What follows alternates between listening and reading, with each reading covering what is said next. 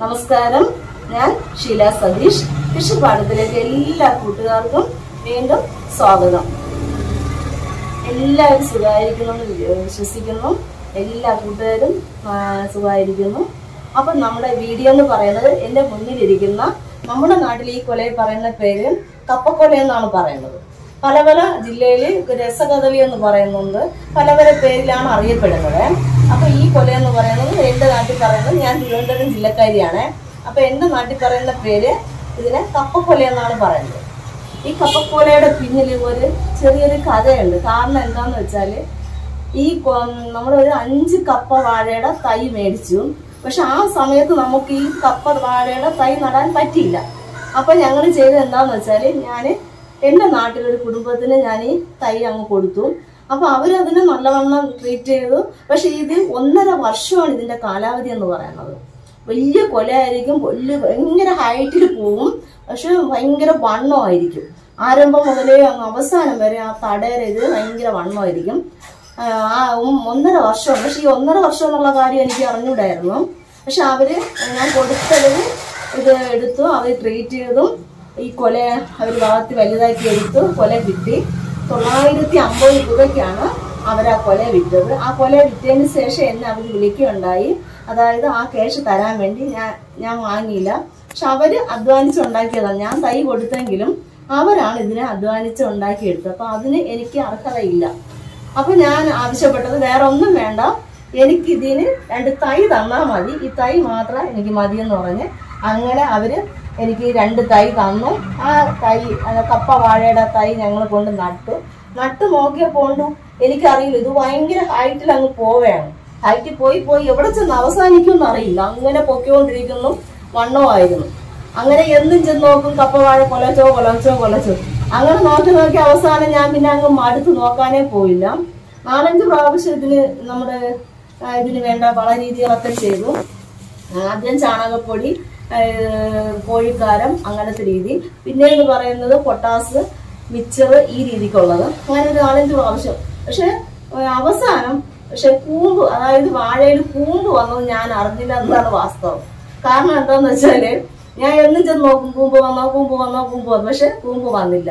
കൂമ്പ് വന്ന അന്ന സമയത്ത് എനിക്ക് അറിയാനും പറ്റില്ല പിന്നെ ഒരു ദിവസം ചെന്ന് അങ്ങോട്ട് നോക്കുമ്പോൾ തറയിൽ അതിന്റെ ഈ കൂമ്പിന്റെ പോളോ വന്ന് പറയുന്നത് ഇങ്ങനെ ആകാശത്തോട്ട് നോക്കിയപ്പോഴാണ് സംഭവം മനസ്സിലായത്.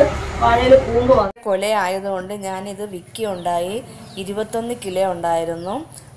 എഴുന്നൂറ്റി അമ്പത് രൂപയ്ക്ക് അടുപ്പിച്ച് വിറ്റു.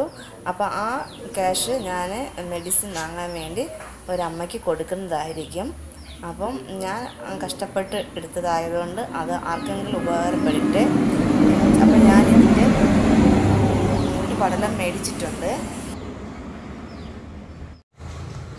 പറയാം. കൂട്ടുകാരെ എനിക്ക് നിങ്ങളോട് പറയാനുള്ള വേറെ ഒന്നുമല്ല നമ്മുടെ വീഡിയോകൾ നിങ്ങൾ കാണുന്നുണ്ടെങ്കിൽ പുതിയ പുതിയ അപ്ഡേഷൻസ് ഒക്കെ ഇപ്പം വന്നിട്ടുണ്ട്.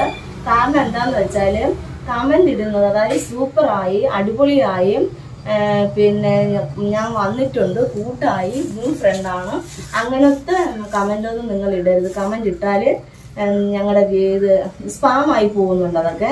അതുകൊണ്ടാണ് പറയുന്നത്. നിങ്ങൾ ആ വീഡിയോ എന്ത് വീഡിയോ നമ്മൾ ഇടുന്നത് അതിന് അനുയോജ്യമായ കമന്റ് ഇടുക. പിന്നെ ഒരു റിക്വസ്റ്റ് എന്ന് പറയുന്നത് നിങ്ങൾ കാണാൻ ഇഷ്ടമാണെങ്കിൽ മാത്രം നിങ്ങൾ വീഡിയോ കാണുക.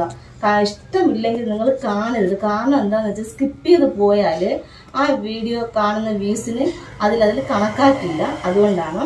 അപ്പോൾ എന്റെ കൃഷിപ്പാടത്തിലുള്ള അതായത് നമ്മുടെ കൃഷിപ്പാടത്തിലുള്ള കപ്പക്കൊലയുടെ വിശേഷമാണ് ഞാൻ ഇന്ന് നിങ്ങളുമായിട്ട് പങ്കുവെച്ചത്.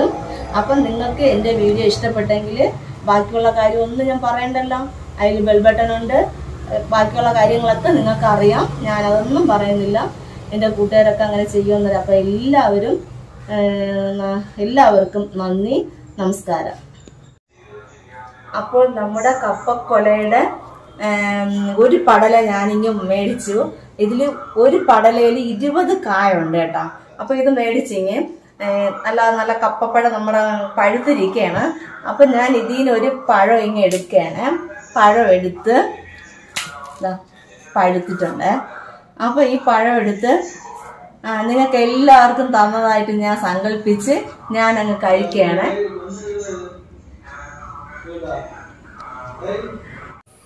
ഭയങ്കര മഴയായതുകൊണ്ട് എനിക്ക് അങ്ങോട്ട് കൃഷിപ്പാടത്ത് പോകാൻ പറ്റില്ല. പക്ഷേ ഇത് രണ്ട് പേര് ചേർന്നാണ് ചെന്ന് കൊല മുറിച്ചുകൊണ്ട് വന്നത്. അതിന്റെ വീഡിയോ എനിക്ക് എടുക്കാൻ പറ്റിയില്ല. അതിനുശേഷം ഞാൻ ഇന്നലെ പോയി വീഡിയോ എടുത്തു. പക്ഷേ എന്താണെന്ന് വെച്ചാൽ എനിക്ക് മൊബൈൽ കംപ്ലൈന്റ് ആയതുകൊണ്ട് ആ വീഡിയോ എനിക്ക് ശരിയായിട്ട് കിട്ടിയില്ല. ഇത് പഴയ സമയത്ത് പഴയ ആദ്യമായിട്ട് നട്ട ഏത്തൻ വാഴയുടെ ആണ് ഇപ്പം ഞാൻ കാണിച്ചേക്കുന്നത്.